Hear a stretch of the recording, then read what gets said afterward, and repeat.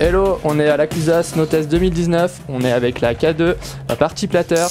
Donc la partie plateur c'est un cambre plat avec euh, deux rockers. C'est une planche qui, euh, comme on le voit, va très facilement déjauger en poudreuse. Donc aujourd'hui on se fait grave plaisir avec ce long nose.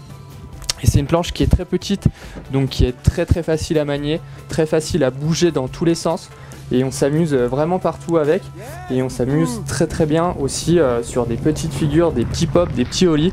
Donc pour une journée comme ça, comme aujourd'hui on a des sauts sur les côtés de piste, la partie plateur est excellente.